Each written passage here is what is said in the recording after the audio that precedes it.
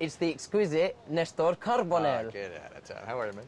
the mysterious one. Yeah. How are you? I'm great, man. How are you doing? yeah, very, very well. you liking Hawaii? I'm enjoying Hawaii. Um, yeah, it's a good place to be. I crashed here as well a few days ago. You did? So I'm waiting for my flash. Hopefully, get sent straight back to London. I'll talk to Jacob. Maybe maybe he can make it happen. Tell me, um, you've become a series regular. How did that happen? Is it you came on? They were like, "Hey, we, we like his eyes. We want we want Nestor's eyes back in the show because We need we need more eyeliner. we need more eyeliner. More, more guy Can you on tell the show. I've made an extra effort for you today? Because everyone's like, does he wear eyeliner? Does he not? Well, as a kid, I, you know, I, I, I remember being five years old, and I had a big complex about my eyelashes as a kid. My, my parents are of Cuban descent, and um, you know, we're just hairy people, man. Yeah. So I have a lot of hair on, on my eyes. So I cut them off as a kid. I cut them because uh, you know, all my mom's friends would say, "Oh, look at his eyelashes." Um, I don't know if they grew back even stronger, but but uh, but so I've, I've dealt with that my whole life. So when it came up on the show and it was online that I was wearing eyeliner, and I said, "Oh, come on, I've dealt with this before." But then I started looking at it myself, and I said, "You know, they're right. It does look like I have Yeah. eyeliner on, and in certain scenes." Richard Alpert. We don't know too much about his backstory. I don't know much. Uh, I know that um, that uh, he's he's clearly uh, has it doesn't age. He clearly is. We've seen him in 1954, I think, is the earliest we've seen him, and now obviously in the present. He's looking good.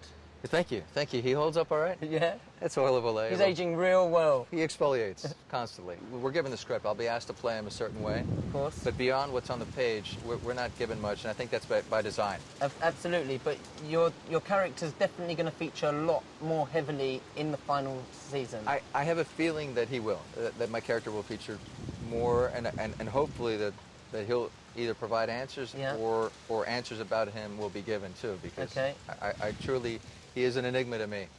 He's obviously one of the important others, but he's not really the leader. He's not.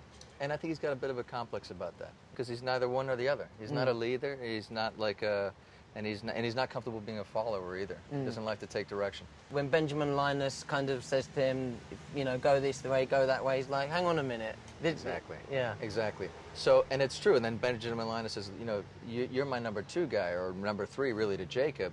So who are you to doubt me? I'm your leader. Or Locke says the same thing, essentially. Locke challenges me at the finale last year. And, and it it's, doesn't sit well with me, obviously. So it'll be interesting to see what happens this season um, in terms of, you know, is this character going to finally come out and, you know, and, and assert himself beyond being a messenger? You know, or is he going to be, you know, content to be in that awkward middle ground? Are you a big fan of the show before you actually entered? I was a fan of the show initially. I, I, there was a period there where I lost a chunk, so I went back and caught up. Uh, but my wife was a huge, massive fan Right. of the show. So when, when I did the show, Hey, Nestor's going to be. yeah, he's going to be on it, you know. and uh, and so the, her first thing is like, we're all going to Hawaii. I said, Mm. I said no, no, I'm, I'm just going to do the gig. You know, I'll I'll come back, and you know, maybe if there's more of them, we'll all go. And, Mm. and so uh, she said, no, we're going because what if they kill you, and what if there is no more? So we all went the first time and had a mass, you know, great, great fun. So, so, but yeah, we're both huge fans of the show, and, and my wife, as I said, you know, has been a diehard fan since day one. For you, what's the highlight of working on the show?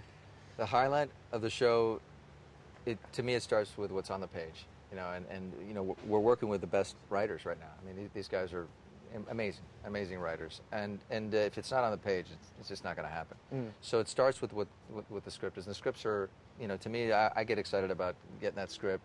You know, they, they deliver it to your doorstep. You have to be there to get the script. Uh, it's a whole secret thing. You can't. You open it up. Your name's on every page. Yeah. Make sure you don't spread it on the internet. Okay. And it's your and, and it's exciting. Just getting that script is, is, is a thrill. What And I- happens as soon as you read it? Does it just kind of evaporate in it, your hands? it evaporates exactly. It completely disintegrates. Evap- no, it's weird. You know, my wife doesn't want to read them because she wants to watch the show, and, I, and I, not that sh you know, not that she would ever read it, but but she does. But I, I, I actually I lock I lock up the scripts. It's crazy. You're telling me your wife never wants, she doesn't want to go there with the No, script. She, doesn't wants to wait until it airs yeah, and watch absolutely. it like a proper Yeah, fan. like a proper fan. So so I lock, but I lock them up, make sure that no one who comes to visit, you know, gets gets a look at the script. Nestor, Oh yeah. I'm going to ask you to do um, Sure. one thing for the fans that watch you all at home. Um, I want you to look directly into that camera and give them something to look forward to in season six. All I can say is, fans, is that uh, you're gonna you're gonna get some answers. You're gonna get some answers from uh, from the writers as to the mythology of the show. there's going to be, I think there's going to be a good versus evil, enormous battle that we're going to, we're going to heat. It's going to heat up to that, and I think you're definitely going to get answers as to who this guy Richard Alpert is. You better, because I better know. Only on Sky One HD. Only on Sky One HD.